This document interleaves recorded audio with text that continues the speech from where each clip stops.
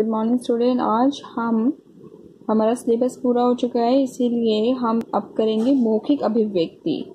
अर्थात मौखिक अभिव्यक्ति जो आप लोगों की कम्युनिकेशन स्किल है, जो वो अच्छी हो, किस प्रकार से आप हिंदी पढ़िए, पढ़ें और कि आपकी जो पढ़ने की जो क्षमता है, वो और अधिक अच्छी हो जाए। आपको सही, सरल, स्पष्ट शब्दों में हिंदी भाषा का उत्तम ज्ञान हो, इसके लिए आपको किस प्रकार से पढ़ना है? जब मैं अभी यहाँ पे मैंने पूरी ये वीडियो बना रही हूँ, इस वीडियो में ध्यान से देखना किस प्रकार से शब्दों को पढ़ा है और किस प्रकार से किन किन बातों का हमें ध्यान रखना चाहिए जब हम किसी चीज़ को पढ़ रहे हो या कुछ बता रहे हो। तो इस पूरी मुख्य अभिव्यक्ति के अंतर्गत इसी बारे में बातचीत है। ये आपकी बुक से रिलेटेड नहीं है कि आप बुक खोलो से पढ़ो नहीं। वीडियो इसलिए बनाई जा रही है ताकि आप लोग इस पर ध्यान दें किस प्रकार से इसको आपको पढ़ना है, किस प्रकार से हिंदी को आपको पढ़ना ज़रूरी है। इसीलिए आप कोई भी बुक ले सकते हो अपनी पढ़ने के लिए, पर फ़िलहाल आपको ये बताया जा रहा है कि पढ़ना किस प्रकार से चाहिए, ठीक है? देखिए, भाषा का मौखिक प्रयोग ही भाषा का मूल रूप है। रूप बड़ा ऊ है। इसलिए बोलचाल की भाषा ही भाषा का वास्तविक रूप है। मानव जीवन में लिखित भाषा की अपेक्षा मौखिक भाषा अधिक महत्वपूर्ण है। यहाँ पे अल्प विराम लगा हुआ इसे रुकना है, क्योंकि दैनिक जीवन के अधिकांश कार्य मौखिक भाषा द्वारा ही संपन्न होते हैं। पन, क्योंकि आधा न है। पन नन नहीं है ये। पन है। समपन आधा मार्क बिंदु है समपन होते हैं। हास परिहास, विचार विमर्श, वार्तालाप, भाषण, प्रवचन आदि कार्यों में मौखिक भाषा का ही प्रयोग होता है। सार्वजनिक जीवन में मौखिक अभिव्यक्ति का विशेष महत्व है।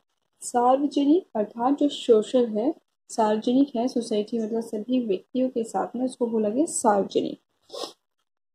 मौखिक अभिव्यक्ति का विशेष महत्व है। जो वक्ता मौखिक अभिव्यक्ति में अधिक कुशल होता है, वही श्रोताओं को अधिक प्रभावित करता है। जितनी अच्छी आपकी कम्युनिकेशन स्किल होगी, यानी कि आप जितने अच्छे वक्ता होंगे, उतना ही अधिक श्रोताओं को आपको सुनना श्रोता अधिक चाहेंगे। सामाजिक संवाद में कुशल बनने के लिए प्रयोग एवं अभ्यास अनिवार्य है। बिना अभ्यास के आत्मविश्वास डगमगाने लगता है। बिना अभ्यास के आत्मविश्वास डगमगाने लगता है और वक्ता की स्थिति और वक्ता की स्थिति हास्यास्पद हो जाती है तथा वह अपने लक्ष्य की प्राप्ति नहीं कर पाता। छात्रों को कक्षा, छात्रों को कक्षा में ही समय समय पर, छात्रों को कक्षा में ही समय समय पर काल्पनिक काल्पनिक स्थिति बनाकर शिक्षक, शिक्षिका की सहायता से मौखिक अभिव्यक्ति का अभ्यास करना चाहिए। मौखिक अभिव्यक्ति में दक्षता प्राप्त करने के लिए निम्नलिखित बातों का विशेष ध्यान रखना चाहिए।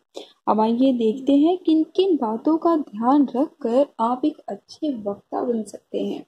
तो सबसे पहला इसके लिए आपका सबसे पहला पॉइंट जो है, पहला बिंदु जो है, वह है स्पष्ट एवं शुद्ध उच्चारण। मैंने आपको पहले भी बोला है, बेटे, आपको ध्यान देना है ने जब आप बोलते हो, आपकी मौखिक अभिव्यक्ति के लिए सबसे पहले ज़रूरी है कि आपका उच्चारण अच्छा हो। इसके लिए आप व्यंजनों को पढ़िए। क, ख, ग, घ, सारे स्पष्ट होने चाहिए। ये नहीं होना चाहिए कि आप बोल रहे हो ग और लग रहा हो घ जिसको आप में से मैं बोल देती हूँ, दोनों ही किस लगेंगे देखिए जरा सोच, सुनिएगा। घ, ग अब दोनों थोड़े से कहीं ना कहीं ऐसे लग रहे हैं जैसे एक ही जैसे हो, लेकिन आपको स्पष्ट बोलना है, ग, घ ग, घ, दोनों में फ़र्क यानी कि स्पष्ट होना चाहिए। तो स्पष्ट एवं शुद्ध उच्चारण के साथ शुद्ध भाषा का प्रयोग। सरल, सहज एवं व्यवहारिक व्यावहारिक भाषा का प्रयोग। ध्यान रखना कैसे पढ़ना है? व्यावहारिक भाषा का प्रयोग। भाषा में विनम्रता का पुत्र ऐसे नहीं पढ़ना है जैसे आप लड़ रहे हो किसी से। भाषा को जब पढ़ रहे हो, जब आप पढ़ा रहे हो, पढ़ रहे हो, बोल रहे हो, कुछ भी कर रहे हो, आप सुना रहे हो चाहे किसी को कुछ पढ़कर, बट लेकिन आपको पढ़ना किस प्रकार से है? ऐसा लगना चाहिए कि उसमें विनम्रता हो। ठीक है? उसमें लगना चाहिए कि आप इसको पढ़कर कुछ बता रहे हो। विनम्रता का भाव होना चाहिए आपकी भाषा के अंदर। विषय अनुरूप विषय अनुरूप, प्रभावपूर्ण भाषा का प्रयोग। विषय अनुरूप, विषय के अनुरूप, विषय अनुरूप, प्रभावपूर्ण भाषा का प्रयोग। विषय का सम्यक विषय का सम्यक ज्ञान, यानी कि संपूर्ण, सम्यक ज्ञान जितना होना चाहिए, वो पूरा सम्यक ज्ञान होना चाहिए विषय का, और विषय अनुरूप प्रभावपूर्ण भाषा का प्रयोग होना अत्यंत आवश्यक है। विषय अनुरूप प्रभावपूर्ण भाषा का प्रयोग। स्वर में आरोह अवरोह यानी कि कहाँ ऊपर जाना है, कहाँ नीचे। हाँ आपको पढ़ते समय ये भी पता होना चाहिए कि जब आप पढ़ रहे होते हो, कहाँ आपको आरोह आवाज़ को तेज करना है और कहाँ नीचे आना है, इन बातों का विशेष ध्यान होना अत्यंत आवश्यक है।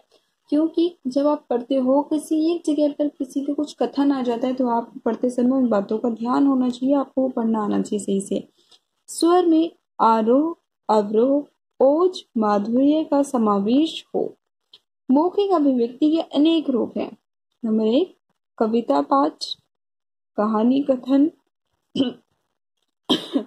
सॉरी भाषण, वाद विवाद, अतिथि स्वागत, समाचार वाचन, धन्यवाद देना, चुटकुले और अंत्याक्षरी तो अत्यान अंताक्षरी जो है अंताक्षरी हो, चाहे चुटकुले हो, ये तो आपकी वो चीज़ें हैं जब आप पढ़ रहे होते तो थोड़ा गा के उनको बोल रहे होते तो आप सच में यहाँ पे आरोह अवरोह का अत्यंत ध्यान रखा जाता है। तो चलिए सबसे पहले हम आते हैं कविता पाठ को कि कविता आपको आपके सामने आती है तो आपको किस प्रकार से कविता को पढ़ना है? प्रार्थना सभा, अंतर सदनीय प्रतियोगिता तथा अन्य कार्यक्रमों के द्वारा सस्वर गद्य वाचन अथवा कविता पाठ करना चाहिए, यानी कि सस्वर, स्वर के साथ कविता को पढ़ना है। ऐसे नहीं पढ़ना है जैसे कोई लिख दिया, कोई पाठ लिखा हुआ है, आपने बस पूरा पढ़ दिया, उठा के उसको। जैसे आपने लिखा उच्चारण उच्चारण शुद्ध, स्पष्ट और साफ़ होना चाहिए। अगर ये कविता के अंश हो तो आप इनको ऐसे पढ़ दोगे? ऐसे नहीं पढ़ना है। उच्चारण स्पष्ट होना चाहिए, शुद्ध होना चाहिए और बिल्कुल साफ़ होना चाहिए। उचित उतार चढ़ाव के साथ प्रवाह से बोलना चाहिए, उचित उतार चढ़ाव होना चाहिए। विचारों की अभिव्यक्ति हाव भाव से व्यक्त होनी चाहिए। जो आप कविता के माध्यम से समझाना चाह रहे हो, वो आपके हाव भाव से दूसरों तक पहुँचना ज़रूर चाहिए। तो देखिए, कविता का किस प्रकार से कविता को हमें पढ़ना है। सारे जग को पथ दिखलाने सारे जग को पथ दिखलाने वाला जो ध्रुव तारा है, सारे जग को पथ दिखलाने वाला जो ध्रुव तारा है, भारत भू ने भारत भू ने जन्म दिया है, यह सौभाग्य हमारा है। भारत भू ने जन्म दिया है, यह सौभाग्य हमारा है। जन्मभूमि से बढ़कर सुंदर, जन्मभूमि से बढ़कर सुंदर कौन देश है इस धरती पर? जन्मभूमि से बढ़कर सुंदर कौन देश है इस धरती पर जिसमें, इसमें जीना भी प्यारा है, इसमें मरना भी प्यारा है। तो देखा आपने, इसको आपको पाठ के अनुसार नहीं पढ़ना है। कि जो पाठ में पंक्तियाँ लिखी है, आपने उसको बिल्कुल पाठ के अनुसार पढ़ दिया। नहीं, ऐसे नहीं पढ़ना है इसको।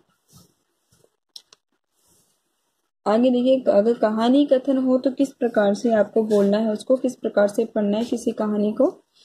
कहानी सुनाना एक रोचक क्रिया है। कहानी अगर रोचक ढंग से सुनाई जाए तो श्रोता पर अच्छा प्रभाव छोड़ती है। कहानी सुनाते समय निम्नलिखित बिंदुओं पर ध्यान देना चाहिए। कौन कौन सी बिंदुओं पर? कहानी का चयन श्रोता के मानसिक स्तर के अनुरूप होना चाहिए। पहली बात तो कहानी समझ में आए दूसरे व्यक्ति को तो उसके मानसिक स्तर के अनुसार होनी चाहिए। हर किसी के, हर किसी का जो मानसिक स्तर है वो अलग होता है तो सभी को उसके मानसिक स्तर के अनुरूप कहानी सुनानी चाहिए। कहानी रोचक एवं मनोरंजक होनी चाहिए। स्वर के उतार चढ़ाव का ध्यान रखना चाहिए। मुख मुद्रा द्वारा कहानी को प्रभावशाली बनाया जा सकता है। कहानी संक्षिप्त, रोचक और जिज्ञासा उत्पन्न करने वाली होनी चाहिए। कहानी सुनाते समय श्रोता को भी भागीदार बनाना चाहिए। बीच बीच में प्रश्न पूछने चाहिए, इससे कहानी और रुचिकर हो जाती है। अगर बीच बीच में इनसे प्रश्न पूछे जाए तो कहानी और अधिक रोचक लगती है। तो आइए, अब चलिए अब आगे, अगला हम देखते हैं भाषण। भाषण देते वक्त हमें किन किन चीज़ों का ध्यान रखना चाहिए और किन चीज़ों के लिए हमारी अभिव्यक्ति कम्युनिकेशन स्किल हमारी जो मौखिक अभिव्यक्ति है, जो वो किस प्रकार से होनी चाहिए। यह मौखिक अभिव्यक्ति का सबसे सशक्त और गंभीर माध्यम है। निम्नलिखित बातों को ध्यान में रखकर भाषण को प्रभावशाली बनाया जा सकता है। प्रारंभ में उपस्थित सभी लोगों को उनके स्तर अनुसार संबोधित करना चाहिए। जैसे श्रद्धेय अध्यक्ष महोदय, प्रिय दोस्तों आदि। भाषण की भाषा सहज एवं स्पष्ट होने के साथ साथ अवसर अनुकूल होनी चाहिए। वक्ता में पूर्ण आत्मविश्वास झलकना चाहिए। प्रारंभ की तरह अंत भी प्रभावशाली होना चाहिए। भाषण देते वक्त शारीरिक मुद्राओं तथा भावों पर विशेष ध्यान देना चाहिए। भाषा इस प्रकार से हो जिससे श्रोता सहमत हो जाए तथा आपकी बात उसके हृदय को छू ले। समझे आप सभी के किस प्रकार से भाषण के लिए पढ़ना ज़रूरी होता है, किस प्रकार से भाषण दिया जाना चाहिए? अब आते हैं समाचार समाचार वाचन। समाचार वाचन। समाचार वाचन मौखिक अभिव्यक्ति की एक महत्वपूर्ण तथा रोचक विधा है। इसके अंतर्गत श्रोता, प्रस्तुतकर्ता को न केवल अपने सामान्य ज्ञान और शाब्दिक उच्चारण के प्रति बेहद सतर्क रहना पड़ता है, वरन यदि वह दृश्य श्रव्य माध्यमों के लिए समाचार वाचन कर रहा है तो उसे अपनी भाव भंगिमाओं के प्रति भी अतिरिक्त सावधानी बरतनी पड़ती है। एक अच्छे समाचार वाचक के लिए निम्नलिखित गुणों का होना अत्यंत आवश्यक है। नंबर एक, जैसे, उसे सामान्य ज्ञान तथा समसामयिक विषयों पर अच्छी पकड़ होनी चाहिए। यानी कि जो सामान्य ज्ञान है, समाचार पत्र पढ़ रहे तो सामान्य ज्ञान होना अत्यंत आवश्यक है, समसामयिक विषयों पर अच्छी पकड़ होनी चाहिए। अगर समाचार समाचार वाचन आप कर रहे हो, तब उसकी भाषा का प्रभाव तथा शाब्दिक उच्चारण शुद्ध होना चाहिए, शुद्ध शुद्ध हो। यानी कि जो शाब्दिक उच्चारण कर रहे हो, शब्दों को उच्चारण आप कर रहे हो बिल्कुल शुद्ध होना चाहिए। समाचार वाचन करते समय स्वयं को संयत और संतुलित रखना चाहिए। संयत होने चाहिए मतलब शांत स्वभाव में बैठकर और संतुलित होकर समाचार पत्र पढ़ना चाहिए। चलिए अब आगे चलते हैं। वाद विवाद, किस प्रकार से वाद विवाद प्रतियोगिता अगर होती है तो किस प्रकार से आपको उसमें, उस समय आपको बोलना चाहिए? इस पर ध्यान देते हैं। वाद विवाद के अंतर्गत किसी विषय विशेष पर आपको अपने विचार प्रकट करने के लिए कहा जाता है। इसमें दिए गए विषय पर वक्ता को अपने विचार पक्ष या विपक्ष में प्रकट करने की स्वतंत्रता रहती है। वाद विवाद में शामिल होने के पूर्व विषय वस्तु की जानकारी प्राप्त कर लेना आवश्यक होता है। आप किसी भी विषय के पक्ष में बोले या विपक्ष में किंतु अपनी बात दृढ़ता तथा तर्कपूर्ण तरीके से रखें। इसके लिए यह भी आवश्यक है कि आपकी भाषा प्रभावकारी हो। इसके लिए ज़रूरी है कि भाषा प्रभावकारी होनी चाहिए। दूसरी बात, अतिथि का स्वागत। अतिथि का स्वागत हमेशा मुस्कुराते हुए विनम्र भाव से करना चाहिए। ये कम्युनिकेशन स्किल्स के अंदर आती हैं, आपकी सभी प्रकार से आपको पता होना चाहिए कि हर जगह पे जब आप कुछ पढ़ रहे होते हो, अलग अलग चीज़ों को तो किस प्रकार चीज़ों का ध्यान रखना अत्यंत आपके लिए आवश्यक है। अब अतिथि का स्वागत कर रहे हैं या फिर हम बातचीत कर रहे होते हैं, बड़ों से, छोटे से, किसी प्रकार से तो हमें बहुत सारी चीज़ों का ध्यान रखना अत्यंत, बहुत सारी चीज़ों का ध्यान रखना अत्यंत आवश्यक है। तो उसके लिए अगर हम पढ़ते हैं अतिथि का स्वागत। अतिथि का स्वागत हमेशा मुस्कुराते हुए और विनम्र भाव से करना चाहिए। स्वागत करते समय व्यक्ति की उम्र और संबंध का ध्यान रखना चाहिए। उसी के अनुसार पाँव छूना, बड़ों के लिए हाथ मिलाना, बराबर उम्र के लोगों के लिए आदि करना चाहिए। स्वागत करते समय सम्मानपूर्ण शब्दों या वाक्यों का प्रयोग करना चाहिए, जैसे अहो भाग्य हमारे जो आप पधारे। आइए आइए, आपका ही इंतज़ार था। आपसे मिलकर मैं धन्य हो गया। आदि। उदाहरण के लिए, जैसे देखिए, रमेश अपने चाचा जी से बातचीत कर रहे हैं तो किस प्रकार की बातचीत हो रही है? रमेश, नमस्ते चाचा जी। आइए आइए, आप कैसे हैं? चाचा जी, मैं अच्छा हूँ, तुम कैसे हो बेटे? रमेश, मैं ठीक ठाक हूँ चाचा जी, बेटा तुम्हारे मम्मी पापा नहीं दिख रहे हैं। कहाँ है? रमेश, मम्मी और पापा सामान खरीदने बाज़ार गए हैं। चाचा जी, अरे, तब तो मुझे चलना चाहिए, फिर कभी आऊँगा। रमेश, आते ही होंगे, काफ़ी देर से गए हैं। आप बैठिए, मैं चाय बनाकर लाता हूँ। नहीं, फिर कभी, नहीं नहीं, फिर कभी। ऐसे कैसे हो सकता है? कुछ तो पीना ही पड़ेगा। अच्छा मैं शरबत ले आता हूँ। जैसी तुम्हारी इच्छा। शरबत पीने के बाद अच्छा मैं चलता हूँ। पिताजी को बताना, मैं फिर आऊँगा। रमेश, बहुत अच्छा चाचा जी। अगली बार शाम को भी, शाम को भी साथ लेकर आइएगा। तो देखा, इस बच्चे ने और उसके चाचा जी की किस प्रकार से बातचीत हुई। दोनों आपस में बातचीत कर रहे हैं और जो रमेश थे वो अपने चाचा जी से किस प्रकार आदर सत्कार के साथ बातचीत कर रहा था। तो इसी प्रकार से जब भी कोई अतिथि आपके घर आता है तो आपको इन सभी बातों का ध्यान रखना चाहिए कि किस प्रकार से हमें अपने मेहमान का स्वागत करना चाहिए। आगे आता है, धन्यवाद देना। अगर किसी को धन्यवाद देना है तो आपको किस प्रकार से बोलना चाहिए, किस प्रकार से धन्यवाद करना चाहिए? कोई भी व्यक्ति, चाहे वह छोटा हो या बड़ा हो, उसे उचित सम्मान देना चाहिए। अन्यथा वह अशिष्टता मानी जाती है। उचित अवसर पर धन्यवाद देना हमारा मानवीय कर्तव्य है। धन्यवाद देते समय निम्नलिखित के शब्दों और वाक्यों का प्रयोग होता प्रयोग होता है। जैसे, नंबर एक, आपका धन्यवाद कैसे करूँ? बहुत बहुत शुक्रिया। आपका बहुत बहुत धन्यवाद। धन्यवाद आपने सचमुच मुझे बचा लिया। आपका आभारी हूँ। मैं आपके प्रति कृतज्ञता प्रकट करता हूँ। जैसे मेहमान के जाने के समय आपके आने का बहुत बहुत धन्यवाद। तो देखा आपने किस प्रकार से हमें धन्यवाद देना चाहिए। चलिए अब आगे देखते हैं अंताक्षरी या फिर जब भी आपके सामने, ये तो केवल अंताक्षरी के रूप में उन्होंने दिखा दिया है, परंतु आपके जब भी आप पाठ पढ़ रहे हो, उसमें कबीर के दोहे, रहीम के दोहे आपको देखने को मिलते हैं।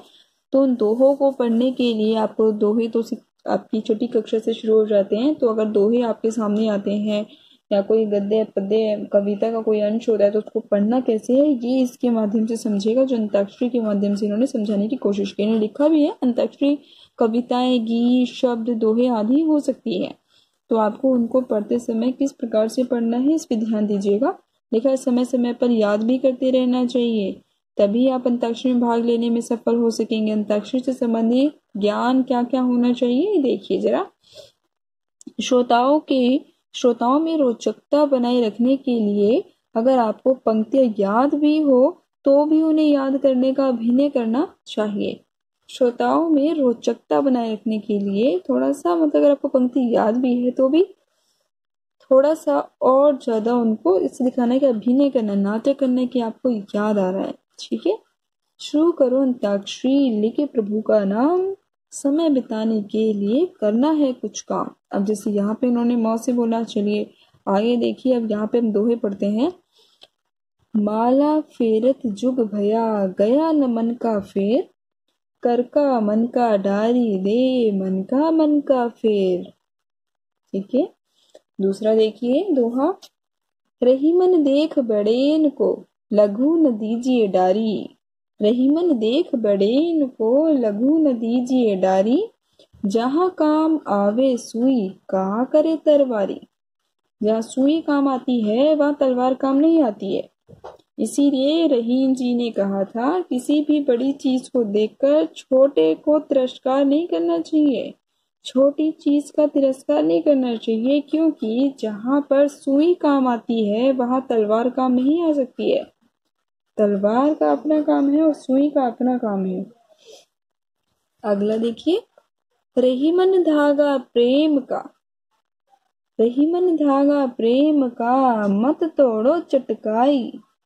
रहीमन धागा प्रेम का, मत तोड़ो चटकाई। टूटे से फिर ना जुरे जुरे गांठ पर जाई। क्या कह रहे हैं कि प्रेम के धागे को कभी मत तोड़ो।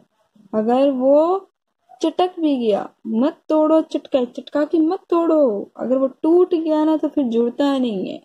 और अगर जोड़ोगे तो फिर गांठ पड़ जाएगी। तो वो गांठ नहीं मिटने वाली वो गांठ हमेशा जीवन में बनी रह जाती है। इसलिए उसे तोड़ना नहीं है। आगे देखिए, चुटकुले क्या होते हैं? हास्य विनोद जीवन में विशेष महत्व है। ऐसे चुटकुले सबसे उपयोगी साधन है। बच्चों को चुटकुले सुनाएँ और उनसे सुनाने क्यों कहे? इस बात का ध्यान रखना चुटकुले के माध्यम से किसी व्यक्ति, वर्ग, जाति या संप्रदाय का मज़ाक न उड़ा जाए।